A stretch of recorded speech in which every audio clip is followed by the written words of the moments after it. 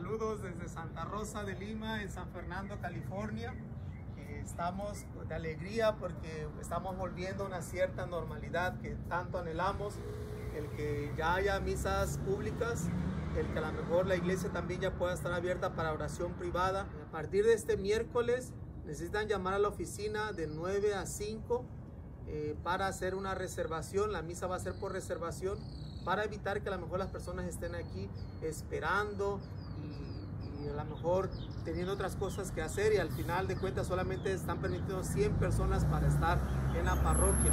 Este viernes va a ser la primera eh, parte en la cual va, va a estar abierta para la oración privada y también la primera misa pública será a las 7 de la noche.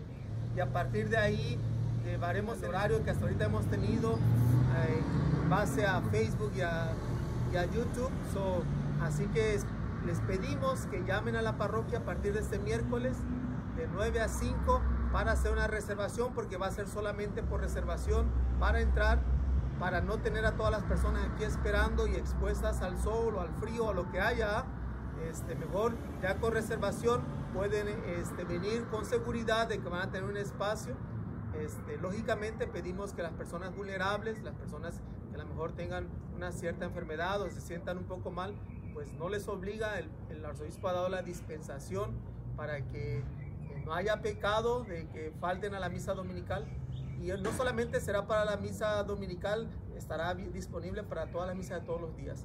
Así que esperamos que nos acompañen, que puedan estar con nosotros, que puedan seguir disfrutando de esta gran parroquia de Santa Rosa que ha sido por 95 años, porque este año está cumpliendo 95 años, la gran parroquia Santa Rosa de Lima.